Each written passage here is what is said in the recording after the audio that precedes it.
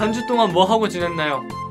여러분들은 저는 학교가 개학을 했습니다. 이거에 대해 더 이상 물어보지 말아주세요. 아.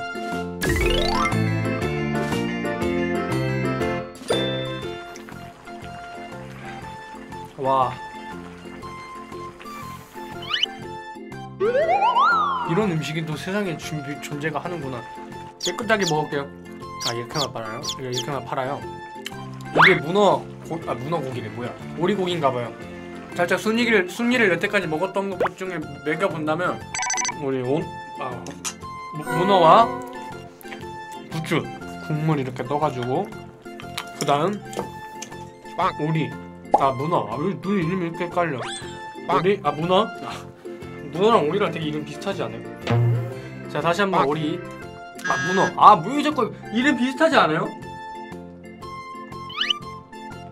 문어 오리. 거참. 이름이 비슷한데. 나만 그런가? 낙타랑 타조 같은 느낌이야? 낙타랑 타조랑 어떻게 비슷하죠? 낙차 나, 아, 낙타. 타조. 오우 오 약간 헷갈린다 낙타. 타조. 오우. 오우. 낙타 타조 야, 난 둘이 지금 순간 헷갈렸어. 낙타가 등에 혹 있는 거 맞죠? 나 타조가 혹 있는 줄 알았어. 어우.